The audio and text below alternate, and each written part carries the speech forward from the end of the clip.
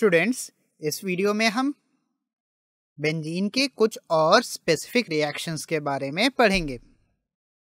Generally benzenes addition reactions नहीं देते हैं, लेकिन अगर हम काफ़ी vigorous conditions like high temperature और प्रेशर लेते हैं तो निकल कैटलिस्ट के प्रेजेंस में बेंजीन हाइड्रोजन के साथ रिएक्ट करके साइक्लोहेक्सेन एज अ प्रोडक्ट दे देता है।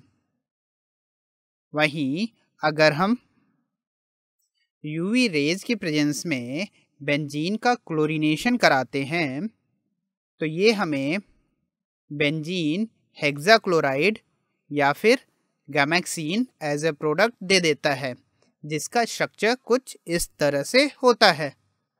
अगर हम बेंजीन का कम्बशन कराते हैं तो ये सूटी फ्लेम के साथ बर्न करके हमें CO2 और H2O देता है, जिसे हम इस रिएक्शन की हेल्प से दिखा सकते हैं।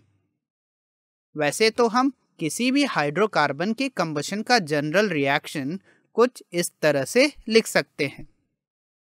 कुछ एरोमेटिक हाइड्रोकार्बन्स जिनमें ढेर सारे बेंजीन रिंग प्रेजेंट होते हैं, वो काफ़ी ज़्यादा टॉक्सिक और कार्सिनोजेनिक होते हैं, यानी कि कैंसर प्रोड्यूस करने वाले सब्सटेंस होते हैं।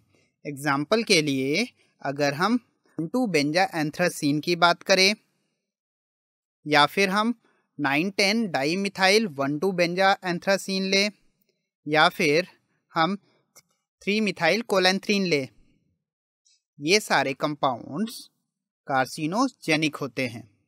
और हमारे बॉडी के लिए बहुत ही ज़्यादा हार्मफुल भी होते हैं।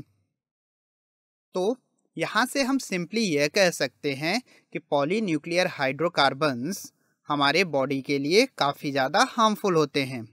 ये compounds organic materials like tobacco coals या पेट्रोलियम के इनकम्प्लीट कम्बशन से फॉर्म होते हैं। और ह्यूमन बॉडी में इंटर करके बहुत सारे बायोकेमिकल रिएक्शंस के द्वारा हमारे डीएनए को अफेक्ट करते हैं और कैंसर प्रोड्यूस करते हैं। इसीलिए एरोमेटिक हाइड्रोकार्बन का इनकम्प्लीट कंबशन बहुत ही ज़्यादा हार्मफुल हो जाता है।